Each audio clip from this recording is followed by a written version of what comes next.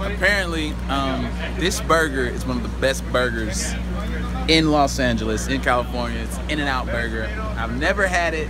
It's my first In-N-Out experience, and y'all are getting ready to experience it with me because I'm about to take my first bite. I hope it's as good as they say it is. Oh my, I'm hungry too, so it might be a big bite.